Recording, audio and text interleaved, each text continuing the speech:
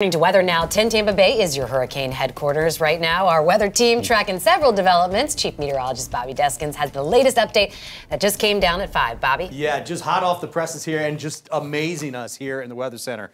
Two storms, Hurricane Lee, now Tropical Storm Margot. That was TD 14 at 11 o'clock this morning, and now it's a tropical storm. Let's get down here to Hurricane Lee. See how far it is? Well from the islands. Looks like it goes off to the northwest of the islands.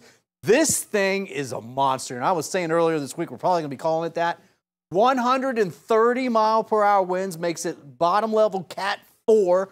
Pressure's down to 953. It dropped over 28 millibars in 24 hours, which means it bombed out, which is not typical.